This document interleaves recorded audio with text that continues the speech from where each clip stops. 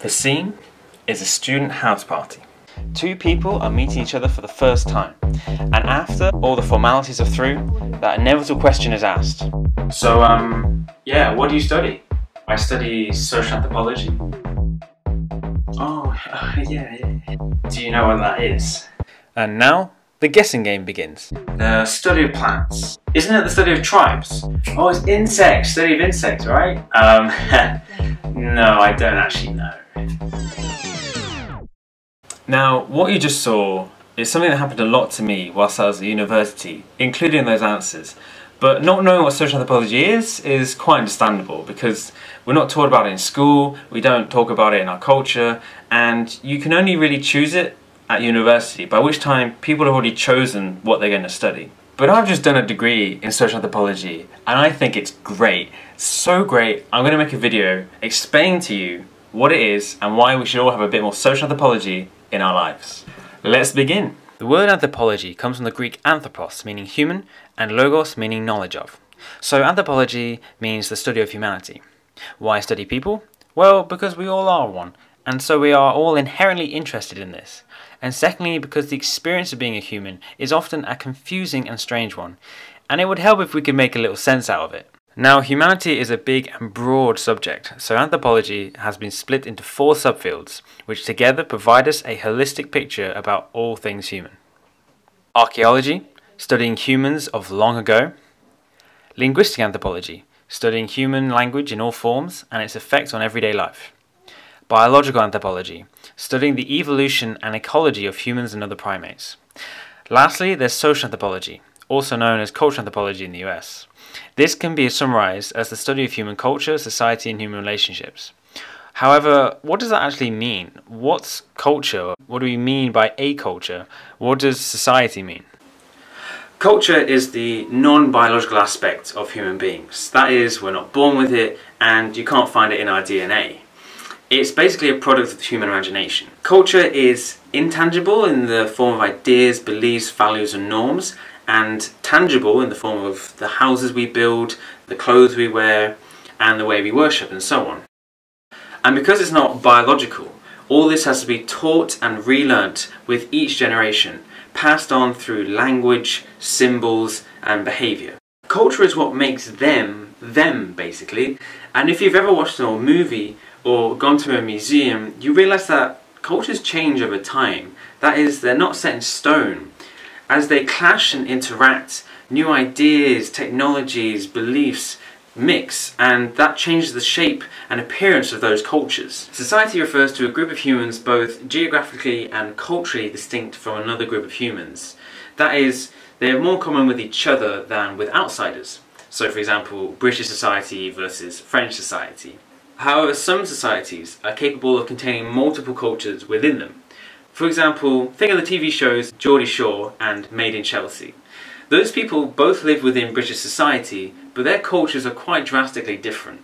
Think of it this way. If society is the phone's hardware, the foundation, then culture is the apps, the software. These two areas, alongside the study of human relationships, are the core pillars upon which social anthropology stands. Kind of like how a physicist looks at the universe and asks, what the hell is going on here and how does this all work? A social anthropologist looks at human social life and asks, what the hell is going on here and how does this all work? Specifically, we want answers to the question, what does it mean to be human? Both in the general sense as in, what does it mean to be human on planet Earth? And in the specific sense, as in what does it mean to be human for these people in this particular place. And like how physicists create laws and theories trying to explain the universe and how it works, social anthropologists are trying to create laws and theories to explain human culture, society, human relationships and behaviour. That is, explanations that transcend particular people and particular places and apply to all humans everywhere at all times. Now, if you want answers to these questions, there's one thing you have to realize. There is no normal. There is no natural. There is no one way. There is no right way. Neither is there a wrong way. There is only different. What's normal, what's right, it's all relative. Okay, let me explain. I bet you've never thought of the cultural society you live in as odd or weird, right? The way things are organised, the way you act and talk, the work you do, it's just how things are, and to you it makes perfect sense, right? You're probably not thinking, so how does this all work, or why are we doing things this way, are you? But think about it. You came into a world which already existed before you did.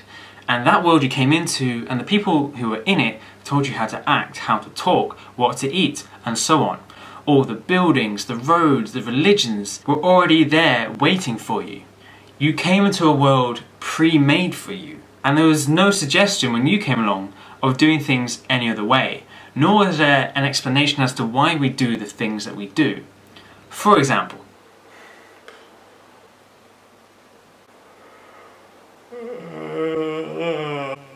Dude, cover your mouth when you do that, alright? Why? What do you mean why? You just don't do that. Therefore, you naturally just accept what you see and are told. And since there seems to be no alternative, you don't question it. You were told that this is the way things are, and so you come to learn that this is just the way it is. Now, look at this picture of me standing next to a man from a Maasai village in Tanzania. For him, his way of life is entirely normal. There they live in small mud huts, sleep with their cows, occasionally drink the cow's blood, wear those clothes. For him, that's quite natural. For me, it's really weird. Instead, what's normal for me is to live in a brick house, sleep by myself in a room of my own, occasionally drink alcohol, wear those clothes, but for him, that must be utterly bizarre. So who's right? We both think our way of being human is normal, even natural, and the others as weird and sort of unnatural. The answer is neither of us are. The fact that we can both think of our way of life as normal and believe the others not to be shows that neither of them are normal or natural. For if something was to be normal or natural, we would expect all humans everywhere to do it. We would expect all humans to live in mud huts or to drink alcohol, but we know they don't. So we can see that humans are different, and this is something social anthropology tries to study. However, social anthropology is also looking for what makes us human. What are the similarities and commonalities between us? So we could also take from that example that both of us cover our bodies in clothing and live in spaces we call home. And therefore, these things we have in common, which therefore makes them comparable, and perhaps are things that are in fact natural and are things that make us human. It's just the way we do those things and why we do those things may be totally different. Let's look at another example. Gender. In the West, we tend to think of boys equal blue and girls equal pink. That is, the colours are pointed to a particular gender. However, go back only 100 years or so and you will find it used to be the opposite for us in the West. Or you go to China and you find that they think blue is a girl's colour and in Japan they think pink is a man's colour. Suddenly then you realise that what you consider to be fixed, what you consider to be normal or natural, isn't. You realise if we said blue was a boy's colour and they said blue was a girl's colour, we both just made it up. Otherwise, we would have both naturally have thought that blue is a boy's colour, right? And we'd expect all cultures and all people everywhere to say blue is for boys and pink is for girls.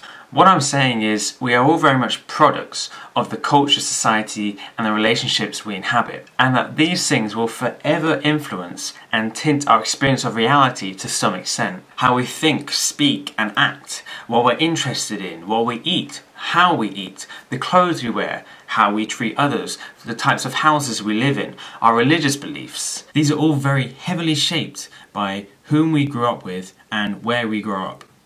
Moreover, you start to understand that as weird and as strange as other people may seem to you, to them, you are equally as strange. And this is one of the brilliant things about social anthropology. It makes the strange familiar and the familiar strange. It makes the exotic normal and the normal exotic. Moreover, social anthropology helps free you from the social and cultural binds that you have acquired during your lifetime. Instead of just being a product of where you grew up and who with, you get more choice and freedom in the beliefs and ideas that you subscribe to, and thus more freedom and choice about who you are in the world.